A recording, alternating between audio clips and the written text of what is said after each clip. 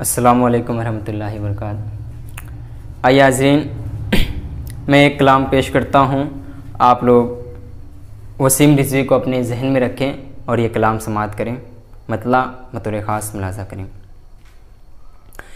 कि ईमानो आ गही का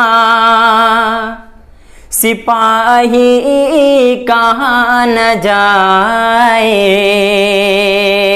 ईमानो आ गही का सिपाही कहाँ न जाए।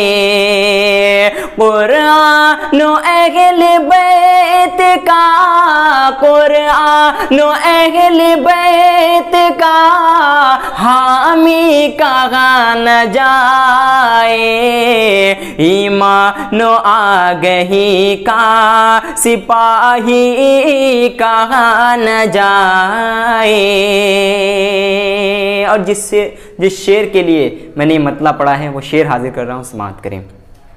कुरान अहल बैत का हामी कहा न जाए।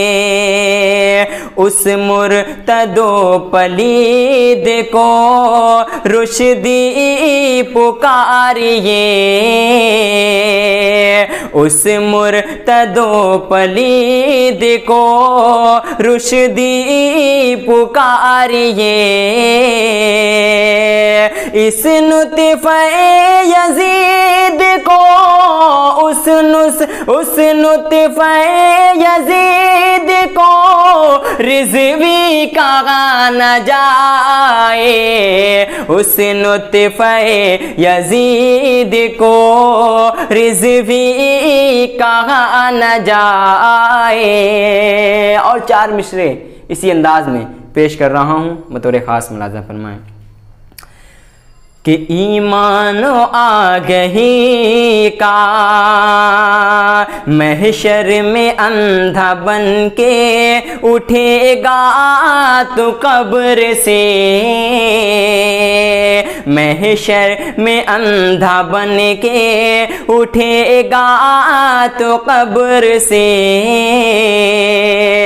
रहमत का सर पे कोई रहमत का सर पे कोई भिसाया न पाएगा।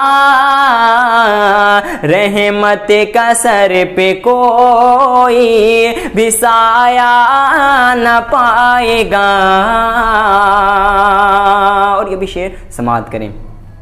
रहमत कस पे कोई कि छब्बीस आयतों को तू क्या ज़िक्र लई छब्बीस आयतों का तो क्या है तो क्या ज़िक्र ए लई छब्बीस आयतों का तो क्या ज़िक्र ए लई कुरान से एक हरफ, कुरान से एक हरफ, हटाया न जाएगा।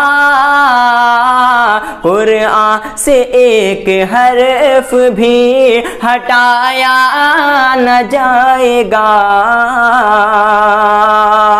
ईमानो आ गई का, सिपाही कहाँ न जाए।